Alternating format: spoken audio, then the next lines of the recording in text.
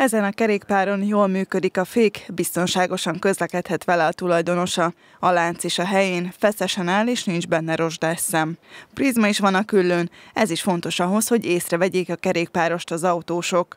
Az első lámpák is ezt a célt szolgálják, mégis sok kerékpárról hiányzik, pedig a Kressz szerint kötelező de más szabályokat is előírnak a kerékpárosok számára. Kiemelném talán a körforgalmas csomópontokat.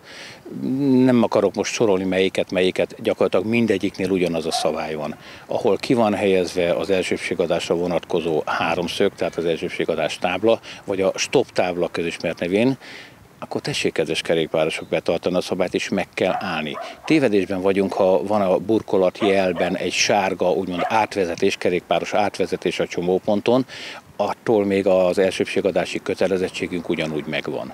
A statisztikák szerint a bringások 70%-a rendelkezik jogosítványjal, vagyis tisztában vannak a közlekedési szabályokkal. Ez alapján a maradék 30%-ra kellene kiemelten figyelni, nem csak autósként, gyalogosként is. Azonban még mindig sok a konfliktus a kerékpárosok és a gyalogosok között. Az egyik legnagyobb hibát talán abban látom, ahol a kerékpárosoknak és a gyalogosoknak úgymond egy szinten, egy nyomvonalon van a közlekedési lehetőségük, értve ez alatt a kerékpár út, és annak a fele pedig a gyalogosoké. Nem tudják, és gyakorlatilag ugye a gyalogos is, a kerékpáros is hol jobb oldalt, hol bal oldalt megy. Én azért itt megragadnám az alkalmat és főhívnám az ezen közlekedők figyelmét, hogy a kerékpáros nyomvonal, Nyíregyházán, bár azért tegyük hozzá, hogy van egy-két sajnos eltérés, de reméljük ezt is mi hamarabb helyre hozzák. A lényeg a dolognak, hogy az úttest felé eső nyomvonal az a kerékpárosoké. A belső nyomvonal, amely az épületek felé, kerítések felé van, az a gyalogos nyomvonal.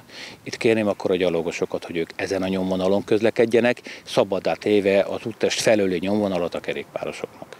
Tovább nehezíti a járdán közlekedők biztonságát, hogy már nem csak kerékpárral vagy gyalog szelhetjük az utakat, hanem elektromos rollerekkel és más hasonló járművekkel is.